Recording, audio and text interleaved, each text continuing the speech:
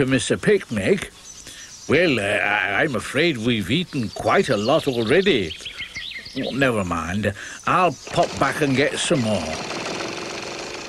The picnic was a great success. Although no one enjoyed packing up, but no one ever does, do they?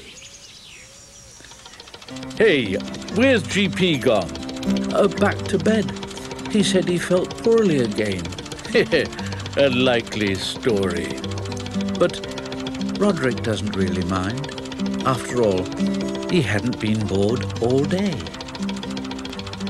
And it isn't long before he and Hammy are home and fast asleep too.